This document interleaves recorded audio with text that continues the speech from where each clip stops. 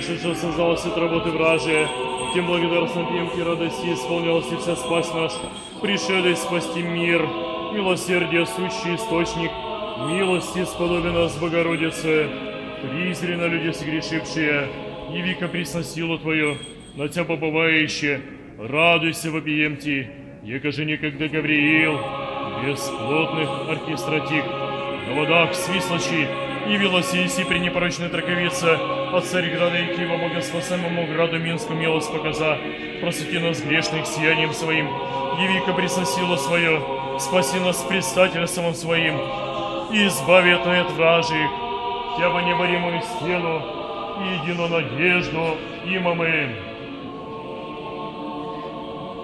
Господу помолимся, Господи помилуй.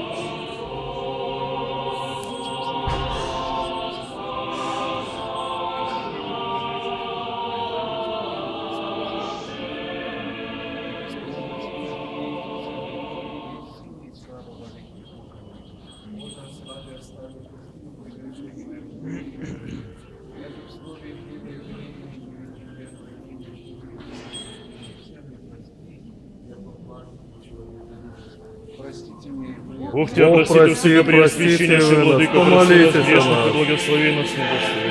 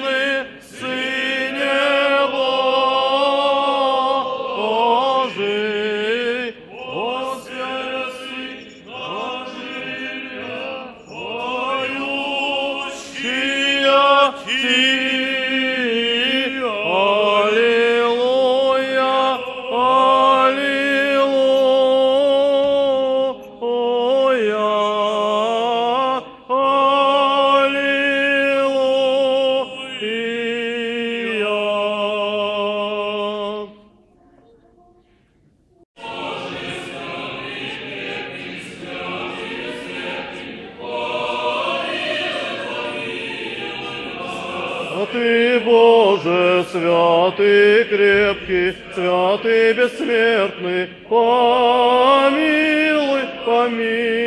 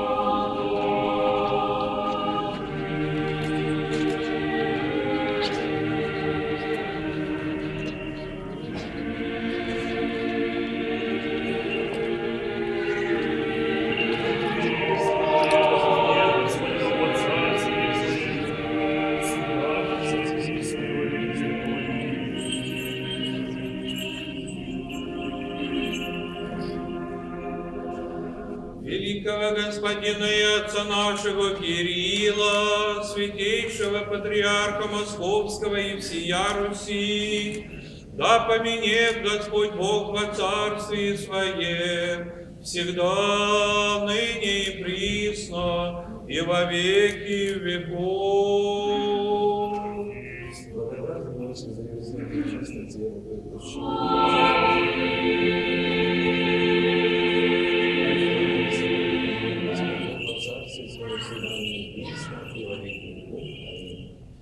Преосвященные митрополиты, архиепископы и епископы, и весь священнический, диаконский, монашеский чин, братья и прихожие святого храма сего, благотворители, благоупросители, жертвователи святого храма сего, труждающихся, поющих во святом храме всем, вас и всех православных христиан. И вас. Да поменет Господь Бог во Царстве Своем, всегда, ныне и присно, и во веки веков.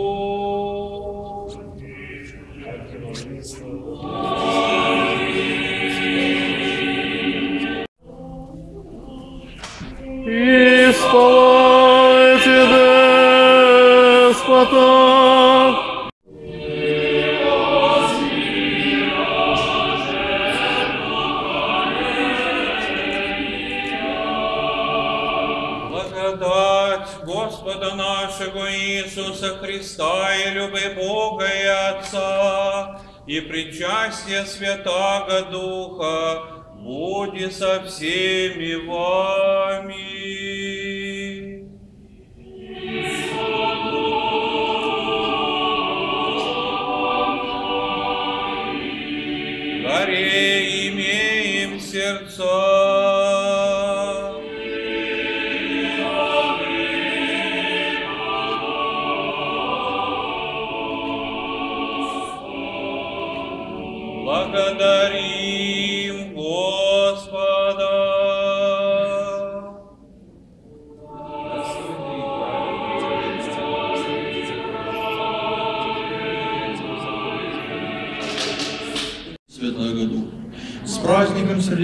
Приветствую всех вас, дорогие братья и сестры. С днем памяти входа Господня в Иерусалим, с тем днем, который мы в нашем славянском народе именуем Вербное воскресенье. В этот день мы все, уподобляясь некогда израильтянам древним, выходим навстречу грядущего для спасительного страдания, смерти и воскресения славного Господа, встречи Его пред небесным Иерусалимом, встречи Его пред вратами Царства Божия. Некогда прообразуя свои будущие страдания, свою славу и царство вечное, царство Бога Отца, Христос зашел в Иерусалим накануне своих страданий. Он входит в Иерусалим скромно и смиренно, шествуя на осляте, как повествует нам Священное Писание, шествует в сопровождении своих учеников и апостолов, шествует в сопровождении множества людей, накануне ставших свидетелями великого чуда, чудо воскрешения четверодневного Лазаря, пребывавшего в гробе, чудо, которое вдохновило народ на встречу Господа как царя и избавителя. Святой апостол и евангелист Иоанн Богослов свидетельствует в своем священном писании, в своем Евангелии о том, что Христос, шествуя к Иерусалиму, был встречен множеством народа. Люди встречали его, держа в руках пальмовые ветви, дети постилали пред ним цветные одеяния, и все восклицали торжественно ему, «Асанна, сыну Давидов, благословен, гряди во имя Господне». Это торжество прообразовало собой славу Божию, славу Творца и славу Спасителя, пришедшего в мир для того, чтобы воссоединить отпавшего человека с высотой божества, чтобы совершить спасение человеческое. Оттого этот праздник носит в том числе и скорбный оттенок для всех нас. Неспроста праздник входа Господня в Иерусалим особняком стоит в числе 20 господских праздников в церковном календаре. Это единственный праздник церковного года, который не имеет ни дней предшествующие ему предпразднества, ни дней по празднества, в которые бы мы продолжали торжествовать по случаю празднуемого события. Мы празднуем ли его лишь один день, И день этот является рубежом между Святой Четыредесятницей, шествие которого мы завершили, и Страстной Седмицей, седмицей, которой мы будем сопутствовать Христу в Его страданиях, в Его искупительном подвиге, и молить Его, дабы Он соделал нас достойными плодов Своего воскресения, достойными спасения в Царстве Божьем. Священное Писание свидетельствует, что Господь наш Иисус Христос выходил в Иерусалим смиренно и кротко.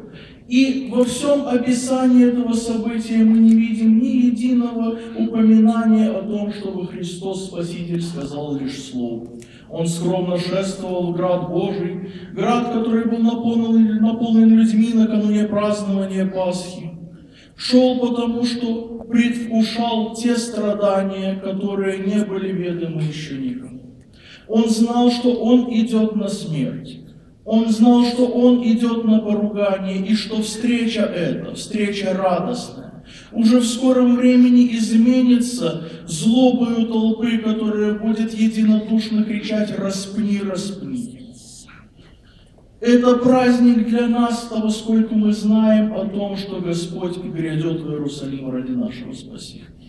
Но по сути это не было праздником тогда для Христа и для Его апостолов. Христос входил в Иерусалим, сокрушаясь о том, что люди, видя все те дела, которые Он совершает, слушая слово проповеди Его, все равно оставлялись глухи и немы по отношению к ним. Они видели, что Христос совершает чудеса Божии, но все равно чаяли в нем именно человеческого вождя и политического лидера. Они встречали в Иерусалиме Господа, надеясь на то, что Он станет тем царем, который вновь возглавит израильский народ и освободит его от иго римского владычества. Они надеялись на то, что Израиль вознесется на высоту, подобную той, на которой он пребывал в времена царства Давида и Соломона, и даже больше. Но никто не помышлял о том, что Господь принес в первую очередь духовное благо и духовную радость. Радость, которую мы не могли себе даже помыслить. Радость возвращения в дом Отчий, возвращения в лоно Отца Небесного радость благ не временной жизни, но вечной, нескончаемого счастья общения с Господом и Спасителем. Люди встречали его как земного освободителя. Они ждали, что вот, тот, кто совершает такие чудеса, совершит и чудесное избавление от римского владычества. Но они мгновенно разуверяются, видя дела Божии по вхождении в Иерусалим. Он никоим образом не стремится, как бы то ни было, изменить политический строй. Он лишь вновь и вновь призывает тех, кто окружает его, к покаянию и к славе Царства. Царство мое не от мира сего, свидетельствует Спаситель, но и горестно ему от того, что даже ближайшие его ученики, даже апостолы не понимают этого. И они остаются в неведении вплоть до воскресения Божьего. Горестно ему от того, что он, входя в Иерусалим, предвкушает и то, что ему предстоит пережить предательство, предстоит пережить страдания, предстоит пережить то, что он будет оставлен всеми. И эта оставленность, это чувство одиночества и непонятости, зачастую может быть понятно каждому из нас. И мы сегодня, в этот праздник, должны в первую очередь благодарить Бога за то, что Он, шествуя на страдания свои, шествуя на дело искупления человеческого рода, не оставил каждого из нас, несмотря на то, что каждый человек готов был предать и, по сути, предал его в эти страшные, но святые. Он все равно преисполненный любовью восходит на крест и на кресте совершает дело спасительного подвига, подвига, омывая кровью своей грех всего человечества, восстанавливая через свою искупительную жертву единство наше со Христом. Он вновь дарует через свою смерть и будущее воскресение каждому из нас возможность взойти в Царство Божие не принуждая к тому, но открывая эту способность для каждого из нас. И наверняка горестно ему было осознавать, что далеко не все люди, но лишь немногие те, кто воспримут его учение, кто последует за ним, смогут потенциально войти в Царство Божие. Что большая часть людей присоединится к тем, кто будет в ярости кричать «распни его», кровь его на нас и на детях. Эти страшные слова – это тот приговор, который выносит себе человечество, которое отказывается от Бога, которое отказывается от спасительного Христового подвига, которое продолжает творить дела беззакония. К сожалению, даже некоторые именующие себя христианами люди остаются таковыми. Увы, нам приходится испытывать чувство страдания. Чувство страдания от предательства порой близких нам людей. И это мы видим среди нас. Это значит, что и мы не воспринимаем и не понимаем тот подвиг Христов, который совершил Он ради нас. Зачастую мы приходим в храм Божий исключительно движимы потребительским чувством. Мы приходим в храм для того, чтобы и спросить у Бога чего-то временного, того, что мы считаем себя нужным и необходимым здесь и сейчас. И эти желания зачастую прямо противоположны тому, что ведет нас к спасению.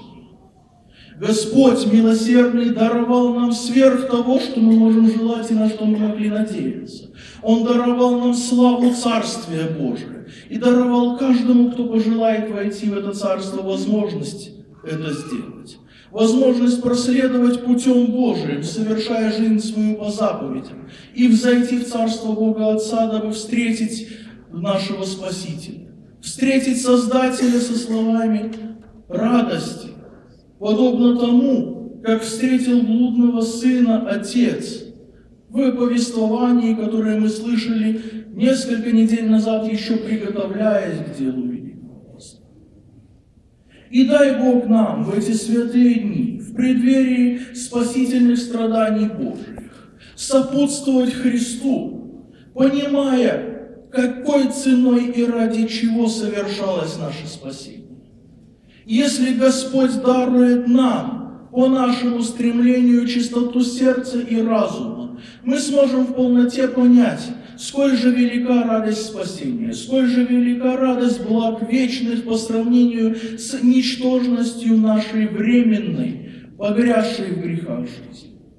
Будем сопутствовать со Христу и просить Его стать Его наследниками, стать сынами и дочерями Царства Божия в полноте воспринять славу Его воскресения, дабы совоскреснуть с Господом, совоскреснуть уже в жизни этой, преобразив свое естество, преобразив свое мышление, дела, преобразив самого себя, дабы своим примером преображать весь мир, делая его лучше. Ибо, как говорил еще святой праведный Серафим Саровский, «Стяжи дух мирен, и вокруг тебя спасутся тысячи». Будем же стяжать этот дух мира, дух любви Божией, радость о воскресшем Господе. И ныне благодарить Господа и Спасителя нашего за то, что Он взошел в Иерусалим на свои страдания, те страдания, которые явились основанием для нашего спасения и нашей вечной жизни. Аминь. С праздником! Спаси Господи вас.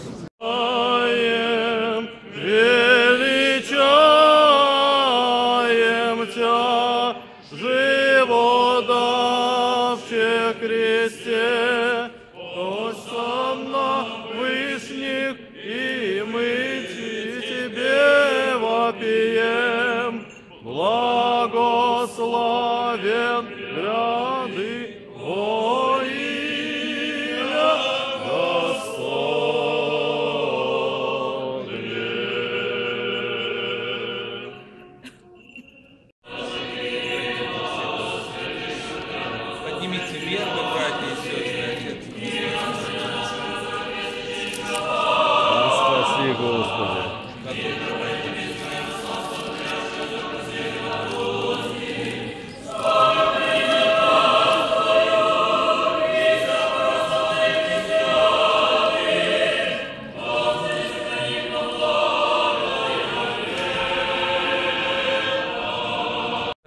отцы, братья и сестры, поздравляю с праздником! Сегодня вся полнота православной церкви празднует торжественный вход Господень в Иерусалим. И вот как все времена, так и сегодня все подняли вербы, ваи для того, чтобы прославить Спасителя мира, который пришел на землю ради нас и ради нашего спасения. Каждый, кто пришел в Иерусалим, был встревожен новостью, которая переходила из уст в уста, о том, что Иисус из Назарета, которого многие почитают за Мессию, так говорили, а он действительно был Мессия. Он совершил воскрешение праведного Лазаря. И ведь в огромном количестве люди приходили в Иерусалим праздновать Пасху иудейскую, и в это время все услышали эту новость. Она потрясла всех, не только жителей Иерусалима, но и всех гостей. Действительно, Христос Спаситель совершал множество чудес, и люди были свидетелями этих чудес. Он хромых делал ходящими, слепых зрящими, Он даже воскрешал усопших, но чтобы воскресить четверодневного мертвеца, невиданное и неслыханное событие. Даже сестры праведного Лазаря говорили Иисусу, он уже смердит. То есть тело уже было предано тлению, и уже никто даже не мог себе представить, что он может воскреснуть. И вот вчера мы, вспоминая воскрешение праведного Лазаря, вспоминали беседу сестер, Марфи и Марии с Иисусом. Они говорили, Господи, они знали, что Он любит праведного Лазаря, знали, что он часто был гостем у них в доме, и именно поэтому они, обращаясь к нему с сожалением, говорили, Господи, вот если бы ты был здесь, не умер бы брат наш. И Христос Спаситель говорил, да воскреснет Он, да, и сестры говорили, да, мы знаем, мы верим, что Он воскреснет в воскресенье, во всеобщем воскрешении из мертвых. Удивительная, искренняя вера была у сестер праведного Лазаря, у Марфы и Марии. Они действительно верили в то, что, в то, что Иисус – это Мессия.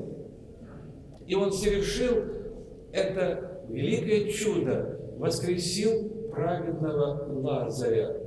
И вот вы обратите внимание, люди, узнав об этом и услышав о том, что вот Иисус теперь идет в Иерусалим, срезали молодые побеги деревьев, встречали его как победителя жизни над смертью. Они встречали его как триумфатора, Потому как бывали такие случаи, когда победители входили торжественно в Иерусалим под восклицание, под аплодисменты всех жителей.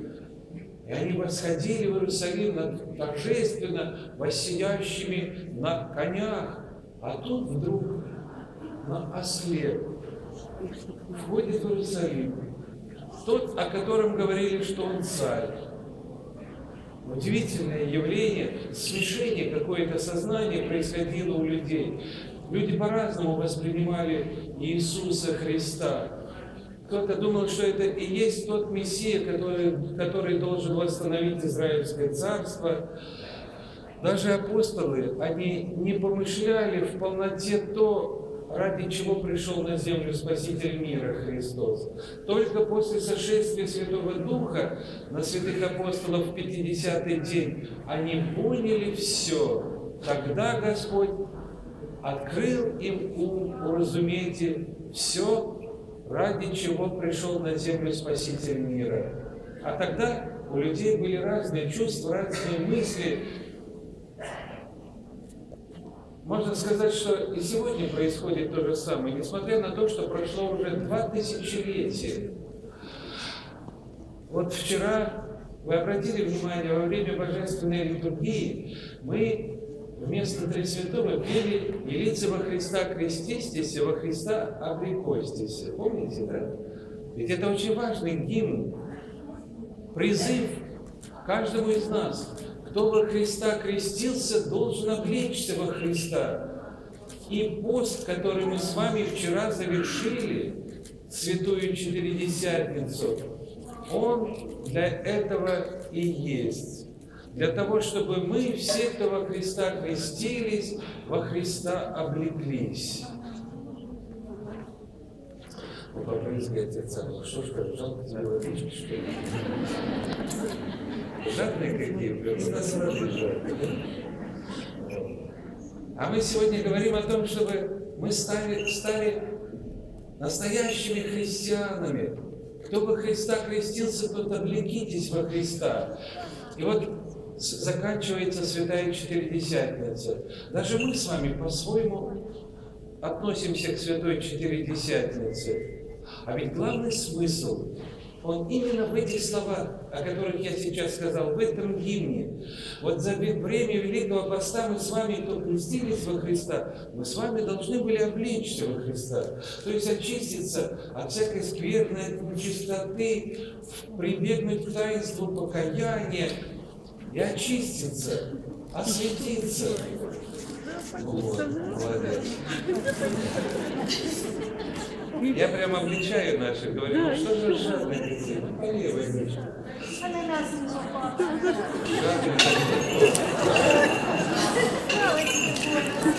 Слава тебе, Боже. Слава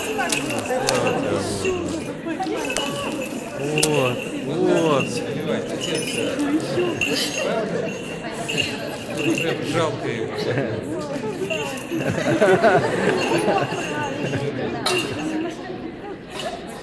И, конечно, дорогие братья и сестры, говоря о, вел- о Великом Посте, о том, ради чего мы проходили этот пост, конечно же, ради того, чтобы во Христа облечься, очиститься от всякой скверной, от нечистоты, постараться стяжать в себе те дары благодати Святого Духа, которые так обильно Господь раздает каждому, кто ищет Бога общения.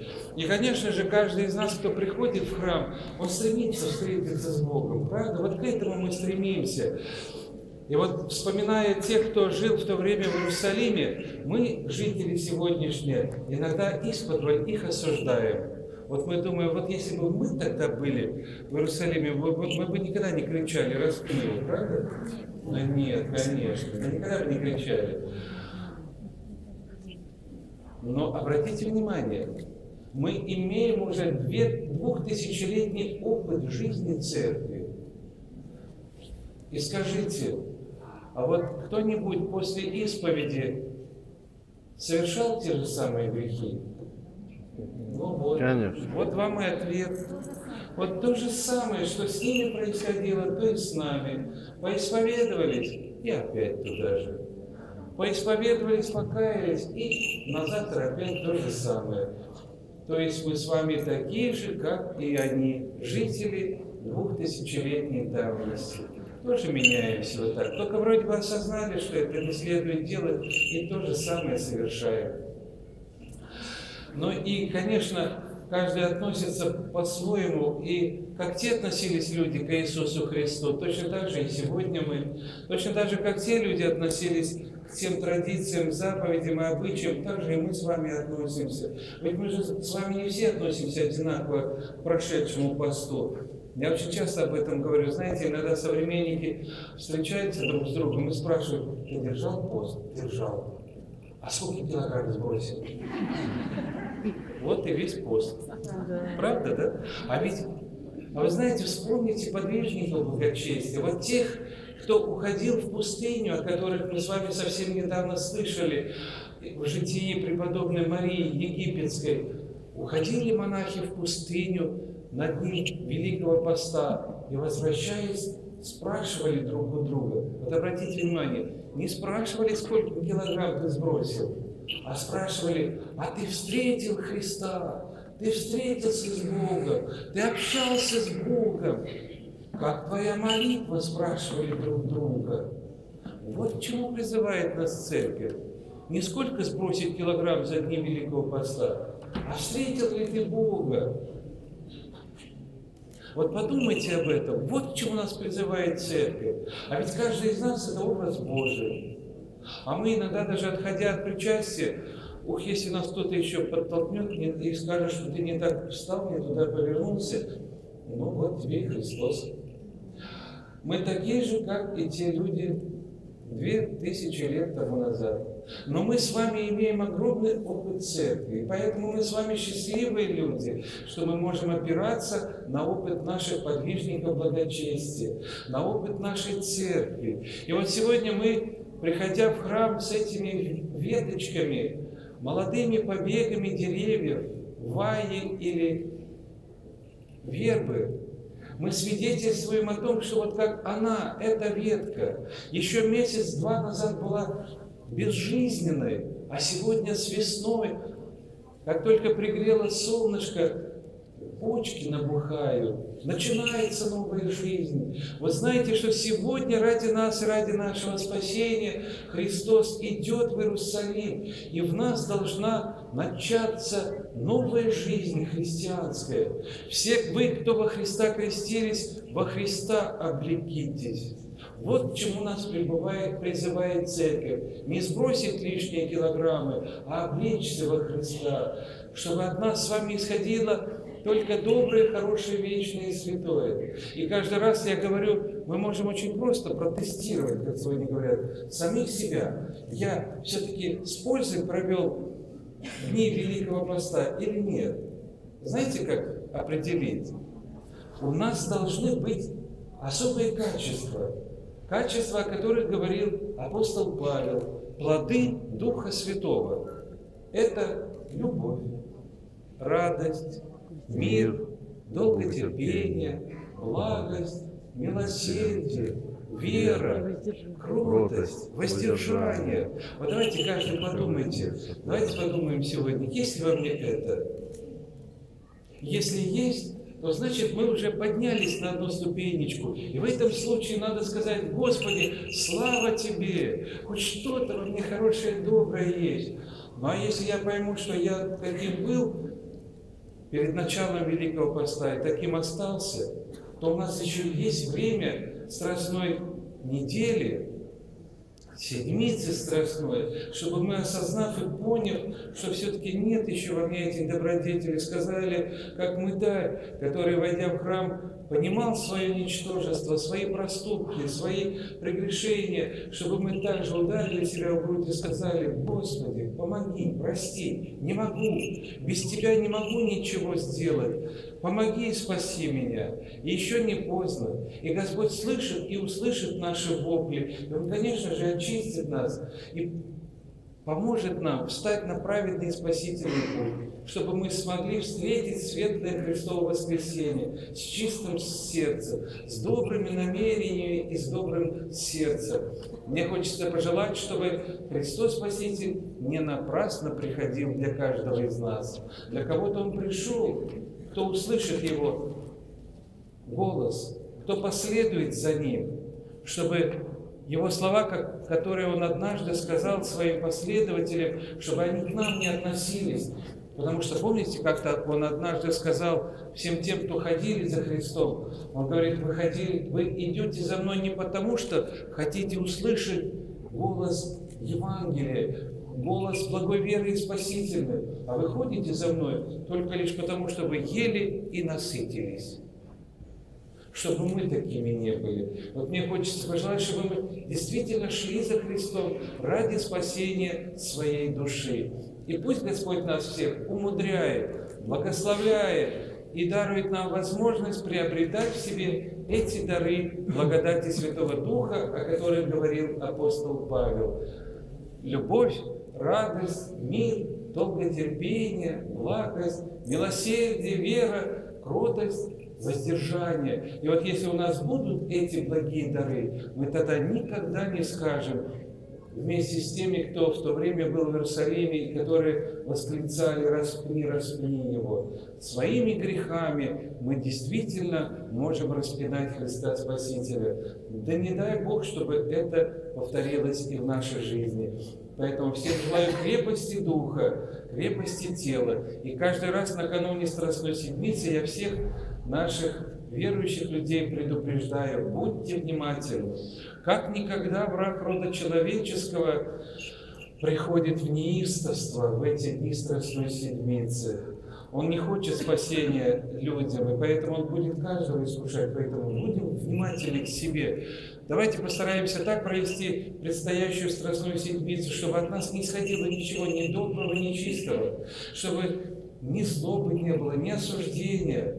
Помните друг о друге, носите тяготы друг друга, помните свои прегрешения и как мы так, не обращая ни на кого внимания, пойдем и скажем, Боже милостив, будем мне грешному, Пусть ни на кого мы не будем обращать внимание. Какое мне дело до тех людей, которые что-то делают не так? Они сами ответят перед Богом. Они, может быть, сами покаются. Я очень часто вспоминаю, я не утомил вас? Нет. Еще один моментик такой. Я очень часто вспоминаю свое пребывание в лавре преподобного Сергия. Тогда я еще только молодой, конечно, я, знаете, обращал внимание, кто как себя ведет. И вот слышал и знал, что у нас два было тогда игумена, которые дежурили в храме в соборе Троицком. И они очень часто, к сожалению, обижали людей. Ну так, знаете, не туда встал, не сюда проходи, проходи туда. Вот. И люди на них обижались. И мы тоже, видя это, их осуждали. И вот вы знаете, однажды случилось так, что я тогда только начинающий послушник, стоял в алтаре в, в Сергиевом храме, в трапезном, как его именуют, и все священники вышли на полиэлей. А я только после того, как мне то одна женщина подошла, то другая говорит, вот нас обидел, вот этот, вот этот обидел, сказал мне так. Вы знаете, у меня прикипело, думаю, какие у нас нехорошие монахи да, вот так обижают э, наших прихожан. Я, знаете, в темноте в алтаре в, в ризнице встаю, и вдруг слышу, кто-то плачет. И не могу понять, кто плачет. Вроде все ушли на полиэлей. И я смотрю, стоит, он уже покойничек, Афанасий игумен, и плачет. А он видит, что я стою. И он стоит на коленях, опустился вниз, плачет и говорит, Господи, я сегодня эту женщину обидел, я сегодня эту обидел, я сегодня это плохо сказал, Господи, прости меня. И он плачет, стоит на коленях, вы знаете. А я стою и думаю, о, он уже покаялся, да? Господь его простит. А я его все время осуждаю. Вы знаете, для меня это был такой урок в жизни. Я часто об этом рассказываю и думаю, никогда никого не осуждайте, потому что вот он уже покаялся, и Господь его простил. А меня-то он не простит, потому что я не каюсь, я же только его осуждаю. Поэтому мы не знаем, кто и когда принесет покаяние в своих грехах. Поэтому я всегда всех призываю, никого не осуждайте. Он уже грешник, но он покаялся, и Господь его простит. А я который мню о себе, что я не такой, как прочие, а на самом деле самый грешный человек. Вот рассказываю об этом и специально говорю, чтобы, знаете, никогда мы никого не осуждали, потому что не знаем, а мы потом уже покаяться, мы потом Господь уже простил. А я, который мню о себя такой великий, да, никого не обижаю, а я же осуждаю. Вот хочется пожелать, чтобы мы никогда никого не осуждали. Ну а если кого обидели, попросили прощения. И верим и надеемся, что Господь милосердный, который пришел спасти каждого из нас, спасет каждого, кто будет осознавать свои проступки, кто будет просить у Него прощения и постарается не возвращаться к прежним своим грехам. И тогда Господь действительно, как и того разбойника на кресте, помилует сподобит нас войти в Его Небесное Царство. Аминь. Прости, Господи, и Владыка. вас, наверное. Сердечно всех еще еще раз поздравляю с праздником, всех причастников поздравляю с принятием святых христовых тайн и желаю, чтобы они послужили каждому из нас во здравие тела и во спасение души. Слава Тебе, Боже, слава Тебе, Боже, слава Тебе, Боже.